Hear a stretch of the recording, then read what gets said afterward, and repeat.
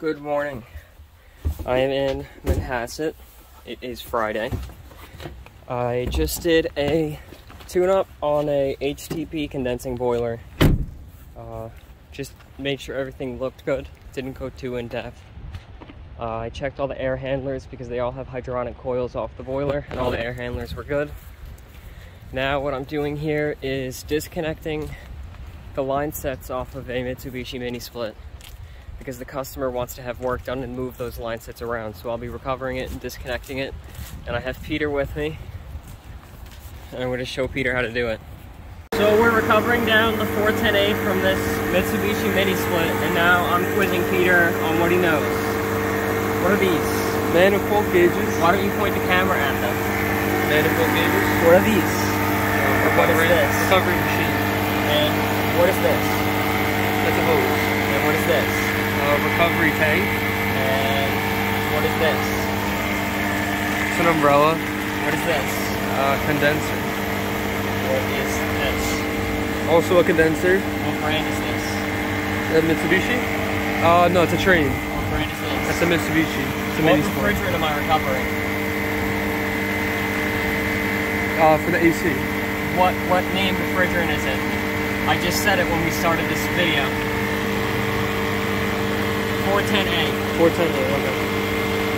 Uh, what is this? That's an impact on. What is this? The tool bag. What is this right here? Um, that has your kill switch in it. What's the real name of it? A disconnect. Disconnect. Okay. How much voltage is going into there? 240. Okay. Good. What's this right here? It's an extension cord.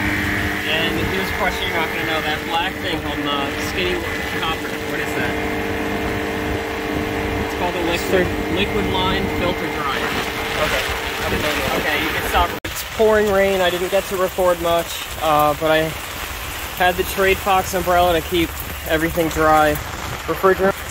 And all I did was I disconnected the lines and I crimped them so moisture and dirt doesn't get inside.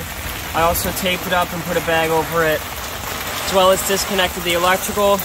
The disconnect is in the off position, so it's not live. Uh, all they're going to be doing is moving this line set around to do work on a window that the line set sits in front of. You can see it's raining pretty hard. There's Peter. We're just packing everything up, just getting it into the truck. I'll organize it all later. We're just trying to get out of the rain. We finished up there. We're on our way now to a job that Mike was at and Mike recorded with a Navien that was turning on for a split second whenever the toilet was flushed.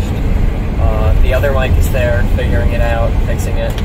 Uh, I'm coming along, bringing Peter just to see it. So my next call is in for a couple more hours. And hopefully Peter learned useful information today.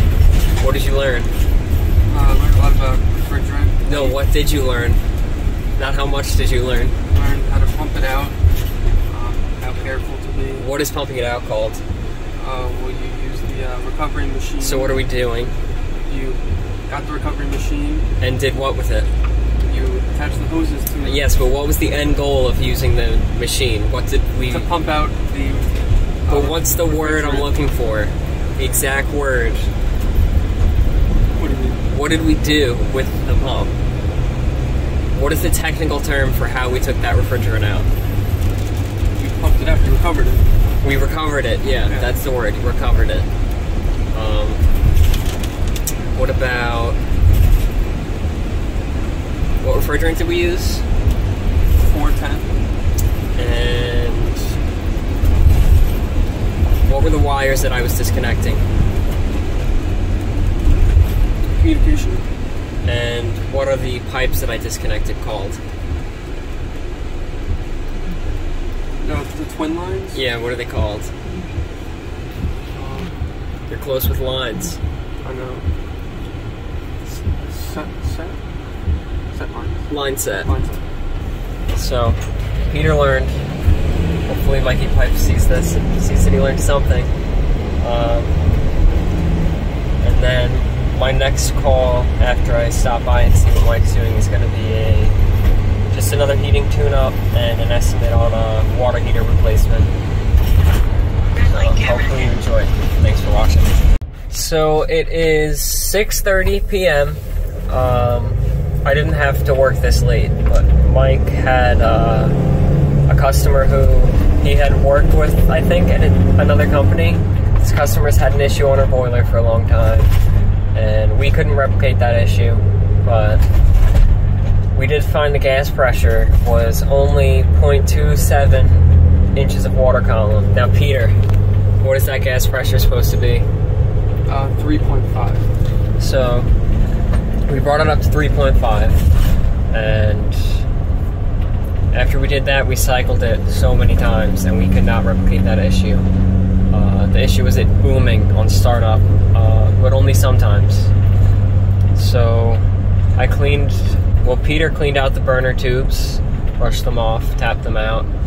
I vacuumed out the combustion chamber, checked everything else on the boiler, and everything seemed to be in decent condition. Um, but I think Peter learned a lot today. I also learned a lot today. We had a steam call with a lot of issues that I had to call backup in for. I called the other Mike, uh, and he helped me out. We had to replace a steam main air vent in the wall. We had to break open the wall. We had to try to pitch a main steam line, which we just barely got pitched right. And this guy's heat hasn't been working for so long, and now it's finally working the way it should. We had to replace the gas valve. We had to replace quite a bit. A radiator valve. Um, but yeah, if uh, if Mike wasn't there, I wouldn't have figured it out. But now that I was there, I'm prepared for the next one. It's dark; you can't even see me. Uh, so, what are some things you learned today, Peter? Uh, I learned a lot. What is that part that I was reading the gas pressure on? That we replaced on that steam boiler. You know, where I was taking my pressure readings. What part was that? Where I got the 0.27 inches of water column? gas valve, Yes, gas valve. Uh, what kind of boiler was that? hydronic, How many zones did it have? two. How do you know that? Uh, because well, she had two thermostats and she said that there were two zones. So I kind of stopped. How else do you know that from looking at it? Well, with with two zones, you're gonna have pipes that go in two different directions. Okay, but come, you just I just gave you the reasons for how you know there's two zones. Not always, but there were two of what? Circulators. Circulators, yes. What are the circulators controlled by? What's that big green box? It's the relay, More specific name. zone relay. Yeah. Now, what does the aquastat do? It makes sure that the water in the boiler doesn't get to a certain, does basically doesn't boil. It regulates the temperature of the water. And what else can I ask you? There's a bunch of animals, right? ATVs just driving on the main road, no license plates, but whatever. New York.